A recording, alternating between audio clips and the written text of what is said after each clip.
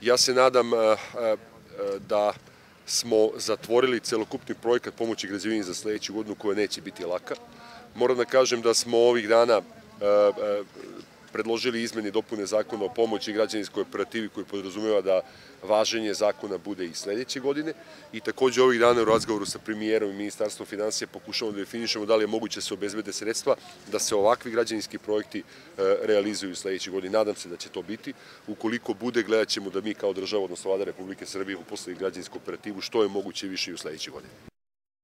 Mi smo pre nekoliko meseci ovde bili kada su radovi počinjali. Danas smo ovde da vidimo ovaj prelepi trg, zaista svaka čast pre svega građevincima, svaka čast ljudima koji su ga osmislili.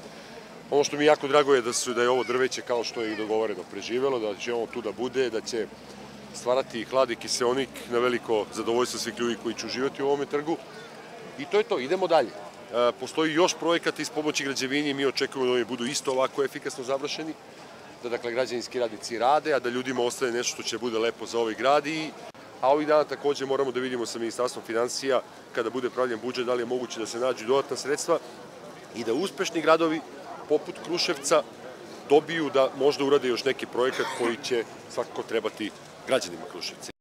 Što se tiče e, projekta u, okviru pomoći građevini, danas smo na jednom gradilištu. Došli smo da proverimo kako gradilište ide.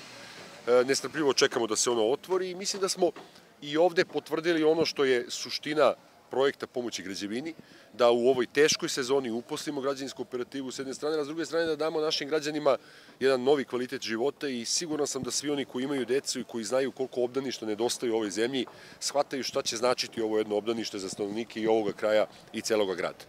Ja sam danas to već rekao nekoliko mesta, ali hoću da kažem. Ovakvi projekti, nažalost, će morati da budu realizovani i tokom sledeće godine. Naša je procena da će građanski sektor i dalje da bude u veoma teškom stanju i iz tog razloga mi spremamo e, zakon o pomoći građevini da se produži rok važenja na još godinu dana i pokušat ćemo u razgovorima oko novog budžeta da obezbedimo sredstva da se ovakvi i slični projekti u Srbiji započinju i završavaju. Sa naše strane kao ministarstvo mi smo tokom ove godine pokrenuli 247 ovakvih projekata na, teritoriji gotovo cele zemlje. Gradimo jedno veliko stambeno naselje u Beogradu 4500 stanova, to je naselje Stepa Stepanović. Ovih dana kada rešimo problem raseljenja romskih porodica počinjemo i drugo veliko gradilište u Beogradu.